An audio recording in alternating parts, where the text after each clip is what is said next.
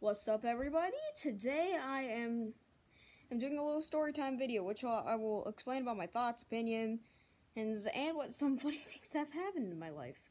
So here we go. This one actually happened not long ago. We were at our local fair here in the middle of town, and we were just like, it was a festival basically. It, it had a lot of cool rides and stuff. After going on a lot of rides, we did some chill. We went to a bunch of inflatable well, I don't know what you call them. They're like obstacle courses. You call it like a bouncy obstacle course or something instead of a bouncy house or a bouncy castle. But um, well, we got got two hit, but then um, I was in the line just well, there is no line, I should say. There was no line. And so I, that means I can get in, but, but just wait for the next kid. And to get out before I go in due to safety hazards. And then this kid says, Hey, you stole my spot. And the kid, then I, I tried saying, Move your feet, lose your seat, because he was 10 feet away from the line. I know, from where he should be. He was 10 feet away from the line. Seriously?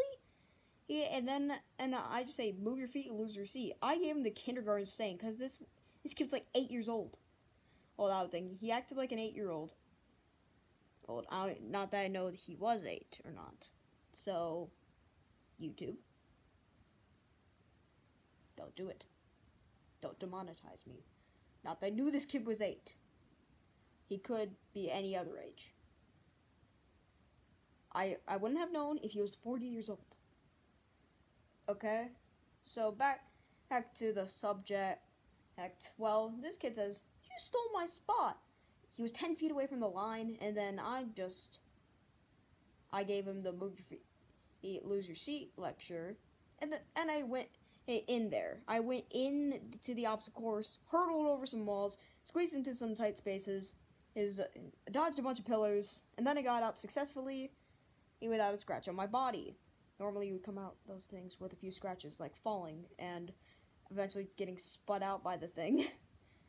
and um, I come back over there for another round, and then Karen Child is literally he's saying to his mom, um, Hey, he stole my seat.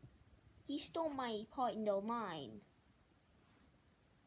And then he challenged me to a 1v1, which I wrecked him in.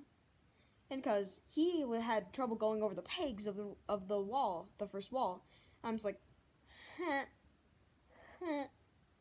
So I just climb over.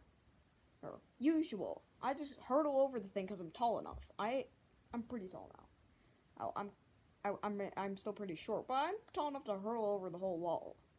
And then I get through all the tight spaces and dodge all the pillars. And then I get out successfully with him very far behind.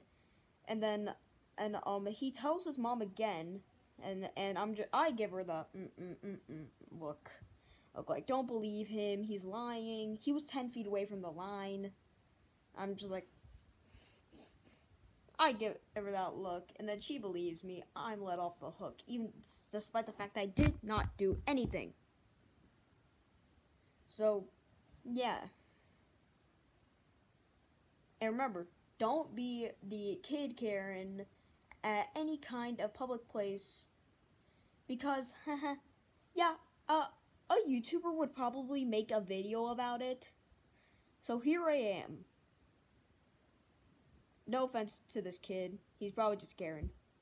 Oh yeah, and just so you remember, or or like, do not hit that dislike button. Okay, got it.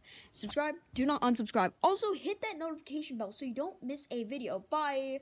Smash it.